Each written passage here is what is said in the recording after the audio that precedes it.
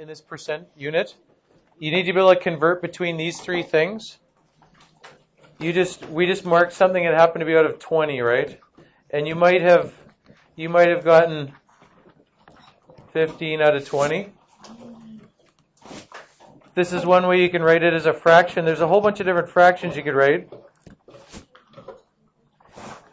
You could write some equivalent fractions to that. What are a couple of equivalent fractions to 15 out of 20? 45 out of 60. 45 out of 60. Wow, okay. 45 out of 60. Multiply the top and the bottom by 3. What else? Got it. You got to put your hand up, right? And this. What's another one? What's another one? 25 out of 100. 75 out of 100. Yes, exactly. We should get it right if we're changing it. 75 out of 100. You're right. There's lots of them, right? What would be the one in lowest terms? What is it if you have it in lowest terms? What is it? Three quarters, right? All of those represent the same number. Getting 15 out of 20 is the same as getting 3 out of 4, or getting 45 out of 60. That's representing something as a fraction. If you want to represent it as a decimal, you have two options here to represent it as a decimal. One option is to, uh, if you want to change this to a, a decimal, you can divide on a calculator or just by using what you know about division. One way you can do it is to divide if you want to make it into a decimal. If you go to your calculator and go 15 divided by 20, that's what this is. A fraction represents division. This bar represents division. That's actually what you're going to use to show division in high school. You're not going to use that divided by sign anymore, but you can just go you can just go 15 divided by 20 on your calculator and it's going to give you 0.75. If you don't believe me, let's get the calculator out here and check because we'll probably need it after for some other ones. Okay? So if you go 15 divided by 20, on the calculator here it shows that line as divide. That, that's like this line here. If you do any of the other ones, right, 3 divided by 4, they're all the same number. They all are equal to the same number even though you're using different terms to represent it. So that's one way, divide on the calculator. The other way would be to make it something out of 100 and then just use what you know about how to represent that, right? Okay, so the other way is you could, I'm going to put a big or here. Okay, so divide or make a fraction out of 10 or 100 or 1,000 or 10,000. Make a fraction out of 10, 100, 1,000, etc. So like this one, right? If you have 75 out of 100, you know that that's 0.75. Right? So that's that's another way to change something to a decimal is make it a fraction out of 100 or 1000 or a power of 10, all right? If you aren't copying this down, I really strongly recommend that you copy it down.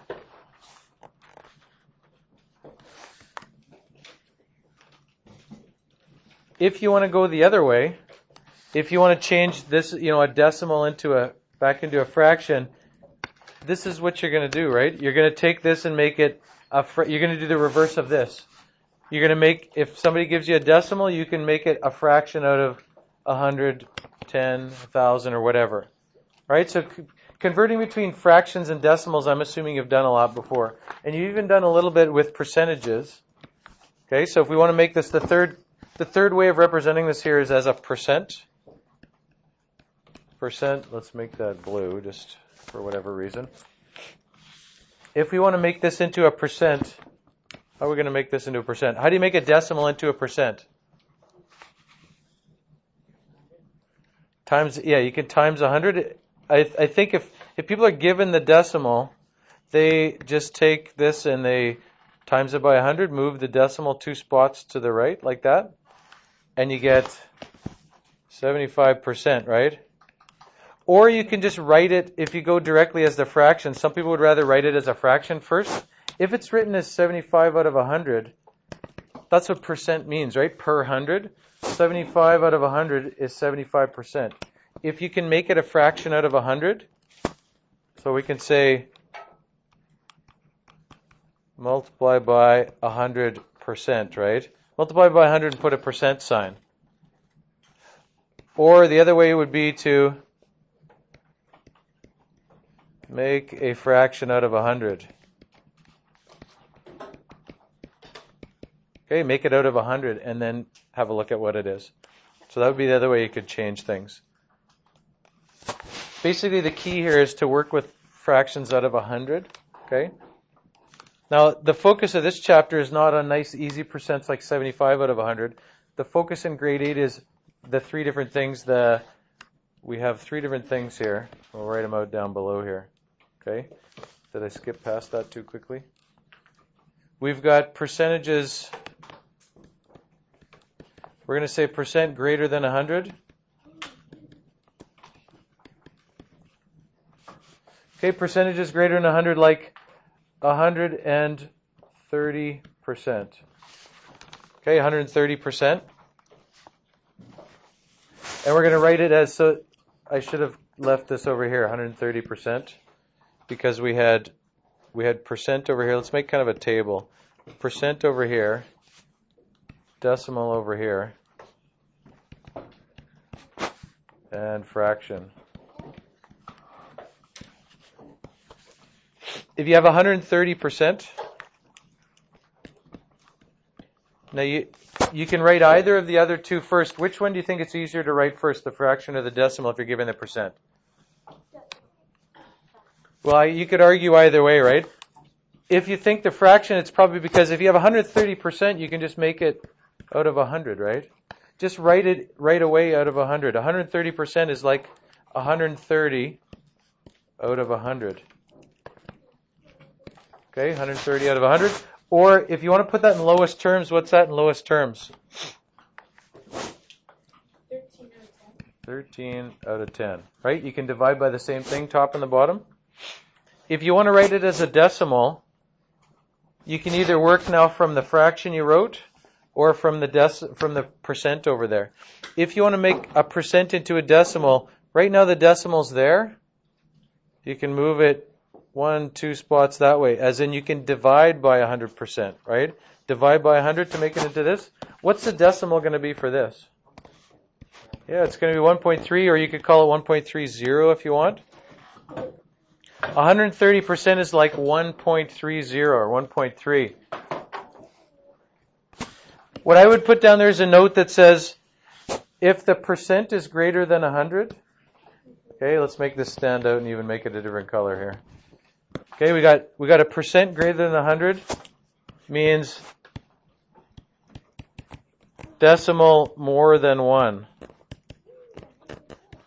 Okay? A decimal that's more than 1. Percent greater than 100 means a decimal more than 1 and it means a fraction that's more than 1. Fraction where the top number is bigger than the bottom number, right?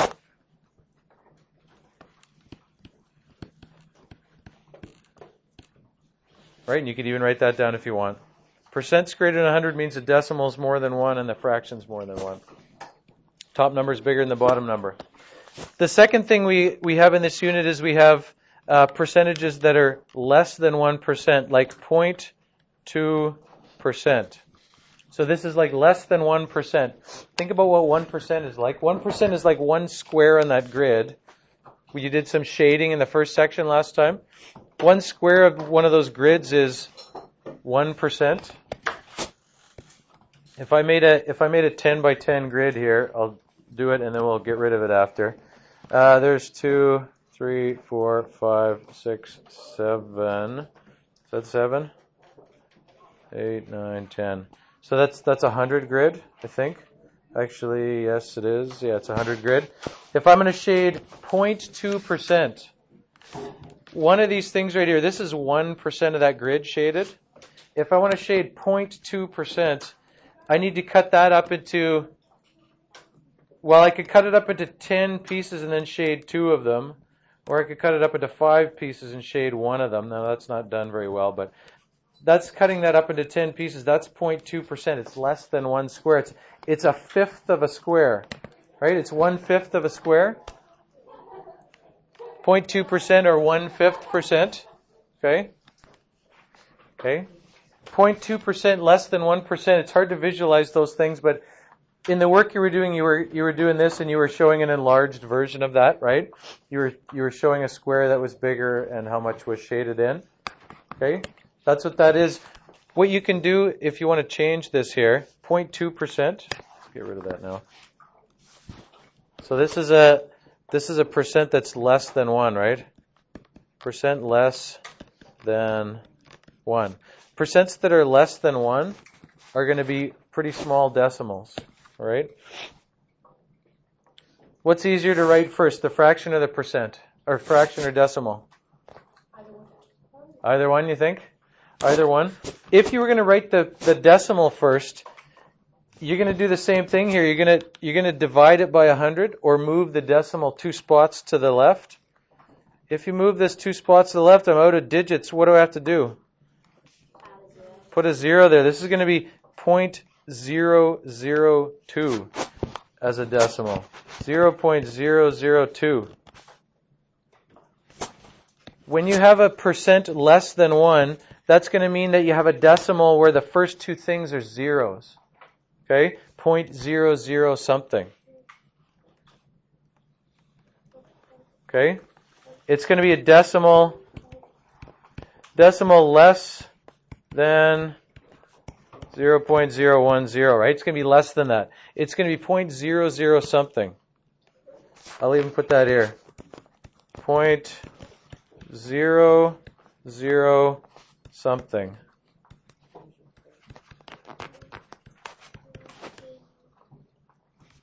All right?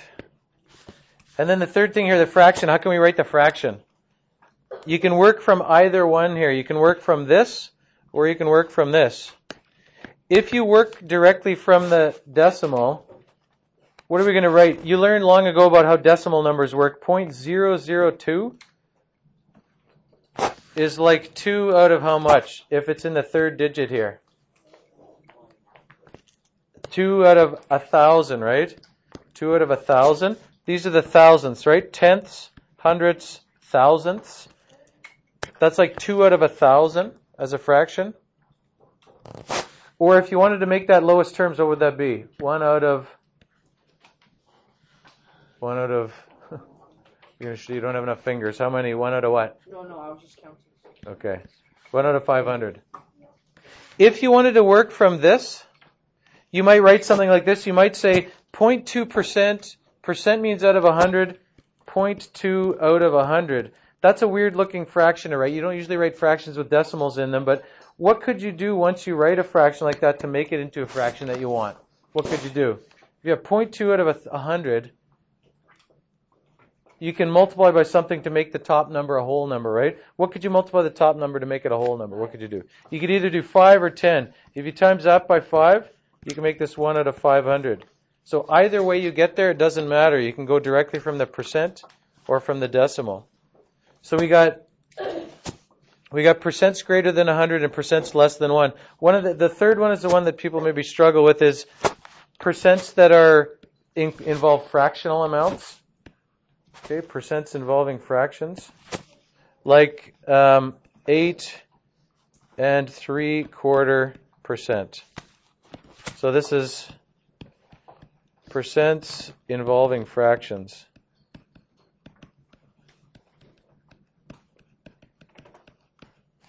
Okay, percents involving fractions, we want to try and convert those to the other two forms. What would be a good intermediate step here? Before, I think a lot of people try to do this directly to this, and then they get it wrong. Eight and three quarter percent. I would say a good intermediate step is to write it as eight point something percent first. Write it as a percent that involves a decimal. What's three quarters as a decimal? What is it? Yeah, seven five. It's it's the one we had right up above here, right? Three quarters was 0.75. So you could write this as 8.75 percent. That's a, probably a good step to do first. Write it as a fraction first, or write it as a decimal involving a decimal first, because then if we want to change it to a percent, what can we do? If you want to, sorry, if you want to change this to a fraction, what can you do with this? If you want to write this as a fraction, how do you write this as a fraction? You can either change it to a decimal first, which in this case is probably the easiest, and then change it to a fraction? What do you do with this decimal? If I want to make this into a decimal, what do I do with this? Which way do I go? Do I go that way? Do I go this way? It's it's percent is like this, right? 8.75% is like 8.75 out of 100. Just divide that on your calculator. If it's percent, just divide it by 100 and see, right? If you want it as a decimal, it means getting rid of that percent side, divide it by 100. If you divide it by 100, it's moving that decimal two spots that way, right? This is going to be 0.0875. The first two spots are the whole number percent, and the rest of it is the fractional percent. The first two spots are the whole number percent. Okay, I'm going to put down here whole number part. And we're going to put down here fractional part.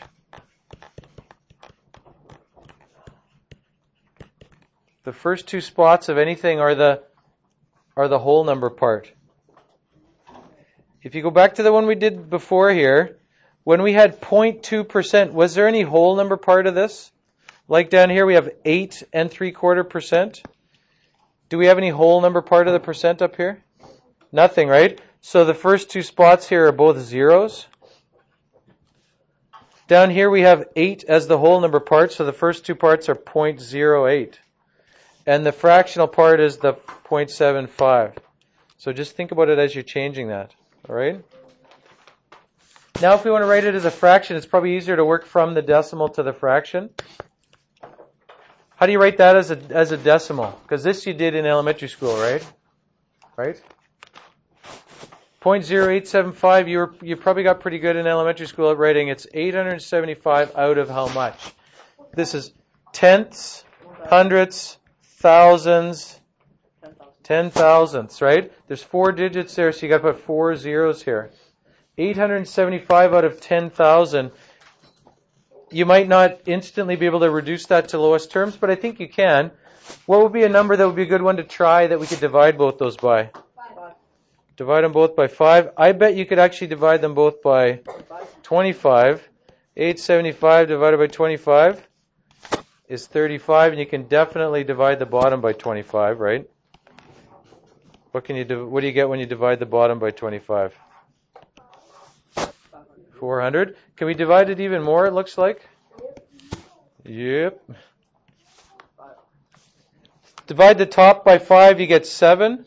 Divide the bottom by 5, you get something. What do you get? You get 80, right? So it's going to be 7 out of 80. That's 7 out of 80 in lowest terms. Or if you have some fancy calculator that can do this, if you have if you have uh, 875 divided by 10,000, you might have a feature on your calculator that can change it for you. Like on here, there's this thing that changes it into a fraction in lowest terms, 7 out of 80 right away. What? What is that? Now you're suddenly interested? You woke up now suddenly? Oh, what? I want that feature that lets me not have to do it myself. I still, I still need you to be able to do this. When we do, you know, when we do assessment on this, likely I'm going to have some of it that you're not having a calculator. So don't totally get dependent on that feature, but do we think we're okay with this concept here? I want you to remember two things here. There's three different ways you can represent these numbers, and you have to be able to convert between each of them. And there's the focus of this chapter is three different things. It's percents greater than 100, percents less than 1, and percents involving fractions. You got to be able to get to the point where you're comfortable with each of those things. Okay, this is a pretty important section and it takes a while.